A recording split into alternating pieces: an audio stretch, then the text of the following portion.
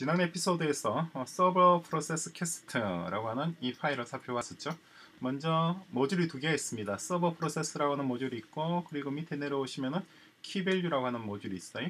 key value method를 보시면 interface function 3개 그리고 callback function 3개가 있었죠. 그죠? 그런데 어, 상당히 재밌는 게 뭐냐니까 지금 보시면은 여기 key value GenServer라고 하는 파일을 열어보시면은 이렇게 구성되어 있습니다. 음, 물론 여기 위에 있는 이거는 제가 집어넣은 거니까 이거는 없어요. 이건 없고 이렇게 구성되어 있을 겁니다. 그러니까 어, key value store는 밑에 있는 6개 똑같죠? 어, interface function과 그리고 callback function이 있는데 지금 server process라고 하는 모듈은 없잖아요. 그 모듈을 만들어주는 게 이겁니다. 그죠? use GenServer라고 하는 한 줄로서 한 줄로서 어, 우리 서버 프로세스에서 봤던 위에 있는 이만큼이 만들어지는 거예요. 그죠? 간단하죠? 그게 젠서버의 역할입니다. 근데 이걸 우리가 behavior이라고 표현해요. 왜 behavior이라고 표현하느냐니까 우리가 젠 서버를 쓰기 위해서는 어, 이제 서버 프로세스가 만들어진다고 가정을 하는 거죠. 그죠? 서버 프로세스가 동작하기 위해서는 뭐가 필요하죠? 콜백이 있어야 될 거 아니에요. 콜백. 그죠? 젠 서버를 불러서 쓰기 위해서는 당연히 우리가 임플멘트 해야 될 펑션들이 있죠. 이 세 개. 펑션 있잖아요.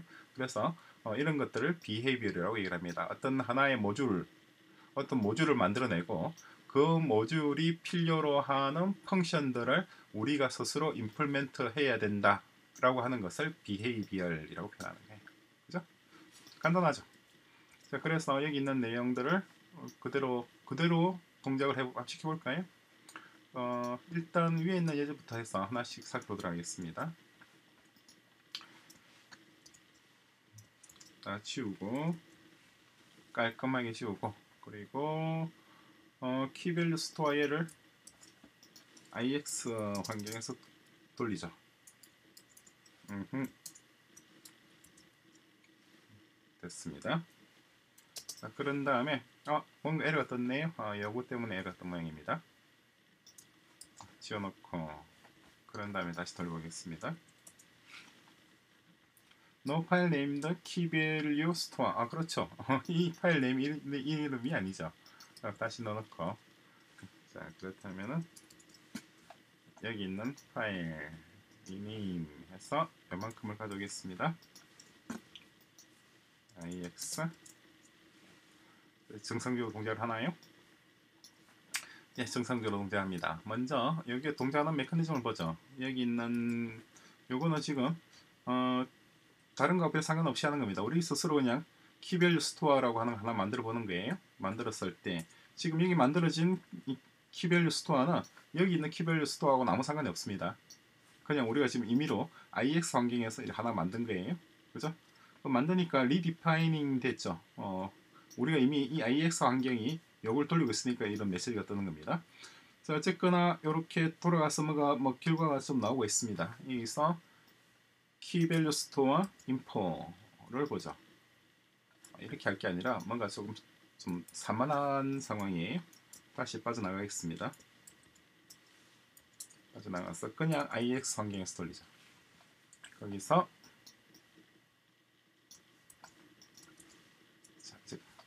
아, 이제 뭐 init one required behavior enable is not implemented. init이 implement 되지 않았다고 돼 있네요.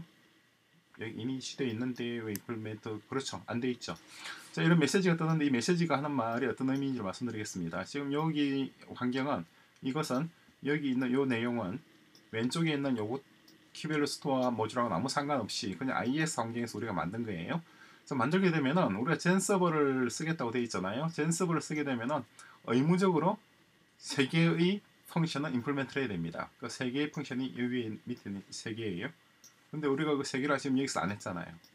그러니까 이런 메시지가 뜨고 있죠. 경고 메시지. 자 어쨌거나 뭐 그건 그렇다 치고 경고 메시지는 경고 메시지이고 어, 자동적으로 만들어지는 게 있어요. 뭐가 만들어지는지 보겠습니다. 보시면은 이런 게 만들어져 있습니다. 벌써 key value store 이 우리가 만든 이 key value store 모듈 있잖아요. 이 모듈의 info 정보를 보니까 이런 게 있습니다. 뭐냐니까 child spec이라는 거. child spec이 뭔지도 나중에 살펴볼 겁니다. code change, handle call, cast, info, init, terminate 이렇게 디폴트로 만들어져요. 기본적으로 어떻게 만들어주냐니까 여기 있는 use GenServer가 만들어집니다. 그런데 이 중에서 세 가지 인, init과 cast와 call 요 세 가지는 우리가 어, implement를 해야 돼요. implement를 하지 않으니까 이런 메시지가 에러 메시지가 뜬 거죠. 그죠? 자 그리고 어쨌거나 디폴트로 만들어주는 것 가지고 스타트까지 할 수가 있습니다. 스타트 하게 되면 이렇게 PID가 뜨죠. 이 PID가 뭐냐니까 서버 프로세스입니다. 어떻게 동작하는지 이해가 되시죠? 자 그렇다면은 다시 빠져나가서 요걸 다시 이번에는 key value 어 P밸 어, 키밸류 다음에 GES 서 뭐로 되어 있는 G 서버라고 되어 있네요. 젠 서버가 왜 G 서버로 이렇게 표현되는지 모르겠습니다. 젠 서버입니다. 뭐 글자가 그 잘린 모양이네요. 이 상황에서 다시 돌려놓고 어 요걸 돌렸습니다. 돌렸고 OKPID 해서 이제 이번에는 이 모듈을 지금 우리가 컴파일해서 이 환경에서 보고 있는 거예요. 이 아이디 109가 나왔죠. 이 109가 지금 GenServer 그러니까 이전 에피소드에서 서버 프로세스입니다. 그죠? 서버 프로세스 아이디. 지금 우리 여기 아이디는 어떻게 될까요? 셀프 보시면은 지금은 107번입니다. 만들어진 서버 프로세스는 109번이고. 그래서 마찬가지 지금 PID에서 some key, some value, OK 떴죠. 만약에 이 값을 불러오려고 하면은 이렇게 또 불러오면 수가 있죠. value.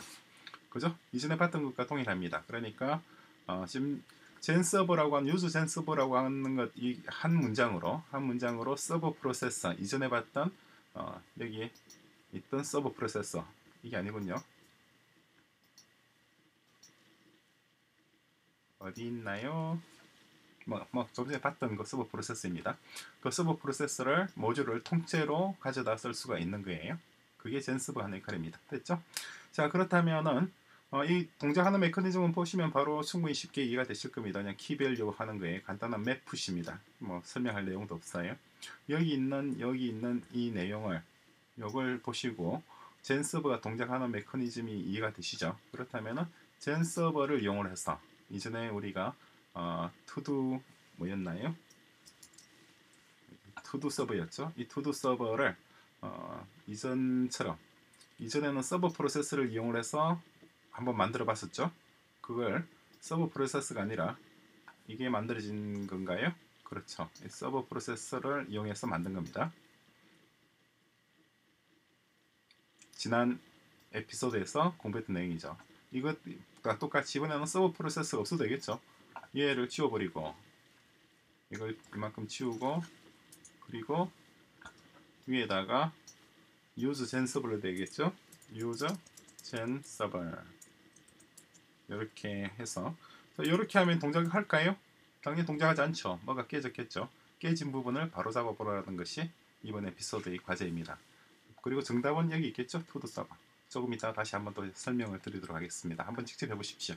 어렵지 않으니까 어, 시간 한 시간이든 두 시간이든 시간을 내서 한번 만들어 보십시오.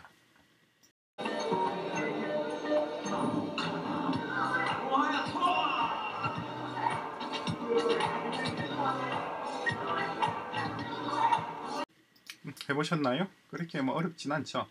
네, 간단하게 짚을볼 부분을 어, 살펴보도록 하겠습니다. 젠 서버를 썼으니까 이제 이전에 우리가 서버 프로세스라고 썼던 부분은 다 젠 서버로 바꿔줘야 되겠죠. 그죠? 바꿔주고 그리고 요게 그러니까 이 부분에 투두 서버라고 하는 것이 콜백 모듈을 말하는 겁니다. 네. 문법은 이렇게 되어 있는 거예요. 밑에다가 좀 다시 한번 적겠습니다.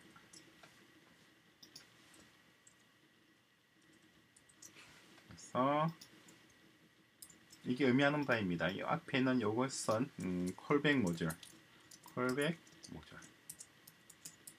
콜백 모듈이 의미하는 바가 무엇인지 잘 아시죠? 그리고 이것은 initial value 이고 다음에 세 번째 아규먼트가 올 수가 있습니다. 세 번째 아규먼트는 name이에요. name 해서 마찬가지 지금같이 보통 여기 있는 이 name을 그대로 적습니다. 이 name은 뭐예요? 우리 이전에 봤던 음, registry 그죠? 그러니까 local name입니다. 이 부분이 local name. 우리가 만든 프로세서, 서버 프로세스의 local name이고 그리고 그 서버 프로세스가 callback 모듈로 이용할 모듈의 이름은 여기 적히는 거예요. 그죠? 근데 이걸 좀 다르게도 적습니다. 어떻게 적느냐니까 통상 이렇게 적어요. 모듈 대문자로 해서 이렇게 표현합니다. 이렇게 되죠. 그죠? 그 의미는 다릅니다. 앞에 있는 것은 callback 모듈이라는 의미이고 두 번째 있는 것은 서버 프로세스의 local name이에요. 그리고 중간에 있는 것은 initial value가 됩니다. 인풋 값이죠. 자, 그런 의미고 그리고 또한 한 가지 볼 게 뭐냐니까 어, 이 리턴 값이 달라요. 그러니까 behavior, GenServer behavior에게 얘 GenServer behavior이 서버를 돌릴 거 아니에요? 그 루프를 돌리죠. 루프에게 전달하는 값이 바로 여기 있는 여기 있는 이 뭐예요? 이 callback function들이죠. 이게 callback function들. function들의 return 값은 이런 tuple 형태입니다. tuple로 return한다는 거예요. 투플이고 앞에 있는 것은 이렇게 아톰이죠. OK라는 아톰. 그리고 핸들 캐스트의 경우에는 no reply가 들어가 있고 핸들 콜에는 reply가 들어가 있습니다. 그죠? 그럴 수밖에 없죠. 핸들 캐스터는 reply가 없잖아요. 그죠? 그리고 콜은 reply가 있으니까 reply라고 붙이는 겁니다. 이러한 이, 이 투플은 누구에게 전달되나요? 그러니까 젠 서버가 돌리고 있는 루프에게 돌아가는 거죠. 어떤 의미인지 아시겠죠? 동작하는 거. 이전에 그 서버 프로세스 대신에 그냥 GenServer라고 하는 것이 대신 들어가 있을 뿐입니다. 자 그리고 하나 더 볼 게 뭐냐니까 앞에 impl GenServer라고 하는 부분이 있죠. 이건 뭐냐니까 이 function은 GenServer라고 하는 behavior가 요구하는 function들을 우리가 implement하고 있는 것이다 이렇게 알려주는 겁니다.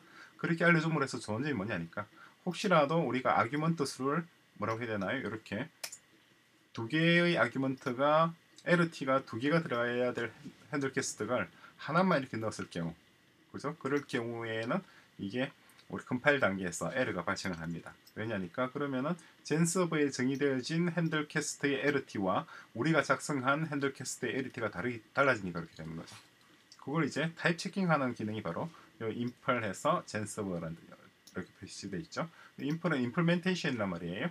젠 서버 비헤이비어를 임플멘트한 펑션이다 이런 의미입니다. 나머지는 동일해요. 뭐 크게 다른 의미가 없습니다.